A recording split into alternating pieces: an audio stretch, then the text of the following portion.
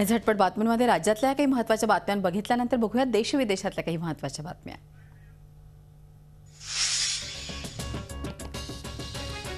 आचारसंहितेचं उल्लंघन केल्याप्रकरणी आम आदमी पार्टी दोषी आढळली आहे. सूत्रांकडून मिळालेल्या माहितीनुसार भाजप कार्यालयात घातलेल्या गोंधळाप्रकरणी दिल्लीच्या निवडणूक आयोगाचे कडक कारवाई करण्याचे संकेत दिले आहेत. पाच मार्च रोजी आम आदमी पक्षानं भाजप कार्यालयात हंगामा केला होता.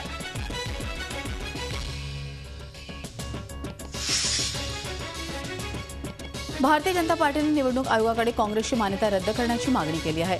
गांधीजींच्या हत्येत राष्ट्रीय स्वयंसेवक संघाचा हात होता असा आरोप काँग्रेस उपाध्यक्ष राहुल गांधी यांनी केला होता. या स्फोटक वक्तव्याप्रकरणी भाजपनं निवडणूक आयोगाकडे तक्रार दाखल केली आहे. संपूर्ण भारतभर मोदी लहर असल्याचं मत भाजप नेते लालकृष्ण अडवाणी यांनी व्यक्त केलं आहे या निवडणुकीत भारतीय जनता पक्ष मागील सगळे विक्रम मोडीत काढेल असा विश्वासही त्यांनी व्यक्त केला. काँग्रेस या निवडणुकीत शंभर जागांचा आकडाही गाठू शकणार नाही अशी भविष्यवाणी देखील त्यांनी यावेळी केली. उत्तर प्रदेशमध्ये काँग्रेस अजित सिंग यांच्यासोबत निवडणूक लढवणार असल्याचा दावा सूत्रांनी केलाय. बागपत मथुरासहित आठ जागांवर तोडगा निघण्याची शक्यता आहे. या प्रकरणी आज घोषणा केली जाण्याची शक्यता आहे. आम आदमी पक्षांतर्गत असलेला वाद आता चव्हाट्यावर आलाय. आम आदमी पार्टीच्या संस्थापक सदस्य अश्विनी उपाध्याय यांनी अरविंद केजरीवाल सीआयए एजंट असल्याचा आरोप केलाय. तर दुसरीकडे त्यांनी मी पक्षाकडे कधीच तिकीट मागितलं नसल्याचं सांगितलंय. अखिलेश यादव यांच्या मंत्रिमंडळातून दोन मंत्र्यांना डच्चू देण्यात आले. आनंद सिंग यांच्यावरती पार्टी विरोधात गेल्याप्रकरणी कारवाई करण्यात आली आहे. तर राज्यमंत्री मनोज पारस बलात्कार प्रकरणात अडकल्यामुळे बाहेरचा रस्ता दाखवण्यात आला आहे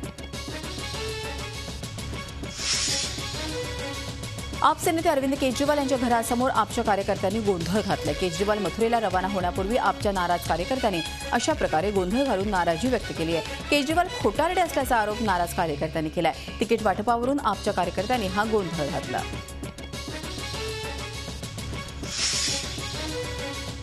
भरकटलेलं मलेशिया एअरलाईन्सचं एम एच थ्री सेव्हन्टी हे विमान समुद्रात कोसळल्याची माहिती आंतरराष्ट्रीय वृत्तसंस्थांनी दिली आहे. हे विमान कोलालामपूरहून बीजिंगला जात होतं. विमानामध्ये दोनशे सत्तावीस प्रवासी आणि बारा क्रू मेंबर होते. विमानानं उड्डाण घेतल्यानंतर दोन तासातच विमानाचा संपर्क तुटला.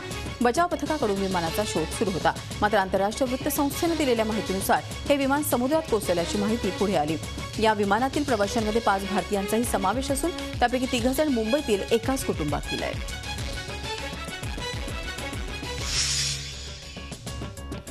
व्हिएतनाम इथं झालेल्या विमान अपघातात बीड येथील माहेर असलेल्या क्रांती शिरसाट या महिलेचा मृत्यू झाल्याची माहिती समोर आली आहे. बीड येथील हंगे कुटुंबियांवर दुःखाचा डोंगर कोसळलाय. क्रांतीच्या आठवणी सांगताना आई रुक्मिणीबाई भाऊ अशोक आणि भावजय छाया यांच्या डोळ्यातील अश्रू काही थांबत नव्हते. पती तीन वर्षांपासून उत्तर कोरिया इथं रिसर्च अधिकारी म्हणून कार्यरत आहेत. पती महिनाभरानं सेवानिवृत्त होणार असल्यानं क्रांती बीडला चार दिवस मुक्काम करून मुंबई मार्गे उत्तर कोरियाला रवाना झाला. दुपारी त्यांच्या विमानाला अपघात झाल्याची माहिती मिळाल्यानंतर हंगे कुटुंबियांना धक्काच बसला.